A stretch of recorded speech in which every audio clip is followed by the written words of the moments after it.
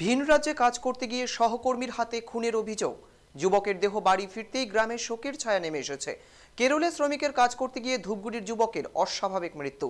খুনের অভিযোগ তোলেন যুবকেরই পরিবার। ধূপগুড়ি পৌরসভার দুই নম্বর ওয়ার্ডের উত্তর বৈরাতিগুড়ির বাসিন্দা মৃত শ্রমিকের নাম সুবোধ রায়। তার বয়স ২৬ বছর।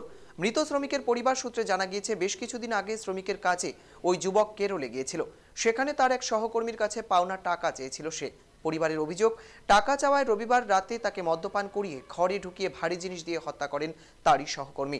মৃত শ্রমিকের বাবা জানিয়েছেন, পরিবারের তরফে স্থানীয় থানায় অভিযোগ দায়ের করা হয়েছে। পরবর্তীতে অভিযুক্ত যুবক নিজেই থানায় আত্মসমর্পণ করেন। মৃত্যুর ছদিন পর অবশেষে শনিবার সন্ধ্যা সাতটা তিরিশ নাগাদ যুবকের বাড়িতে এসে নিথর দেহ পৌঁছেছে।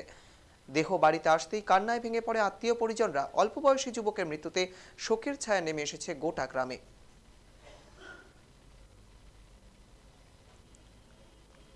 কেরলে শ্রমিকের কাজ করতে গিয়ে ধূপগুড়ির যুবকের অস্বাভাবিক মৃত্যু খুনের অভিযোগ তোলেন যুবকের পরিবার ধূপগুড়ি পৌরসভার দুই নম্বর ওয়ার্ডের উত্তর বৈরাতিগুড়ির বাসিন্দা মৃত শ্রমিকের নাম সুবোধ রায় তার বয়স ২৬ বছর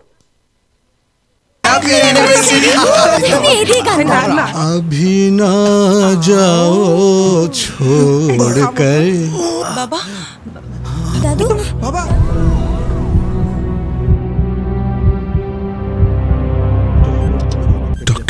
এভরিথিং ইজ আন্ডার কন্ট্রোল আপনারা ওনার সঙ্গে দেখা করতে পারেন।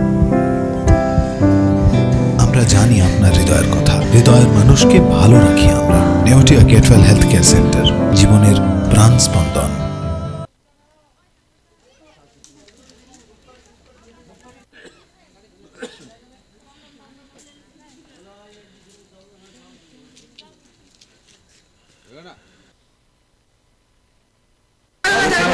টাকা পায়।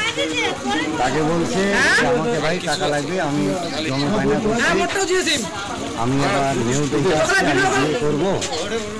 আমাকে টাকাটা এক মাসের মধ্যে না পারলে না এক মাসের মধ্যেই আমাকে পুরোটা না দিলেও কিছু আমাকে দেবা আমি যা বিয়ে সাথে করব। এসব আলোচনা করার পরে ওরা কয়েকজন লোক আছে।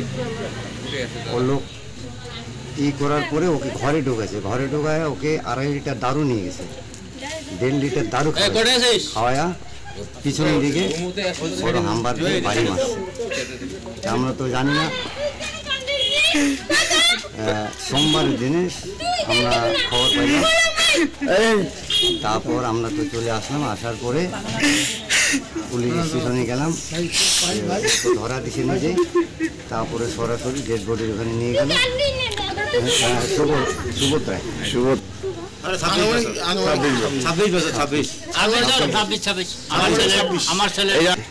ওইখানে এখন সরকার ইউনিয়ন অফিস থেকে কিছু সাহায্য করছে।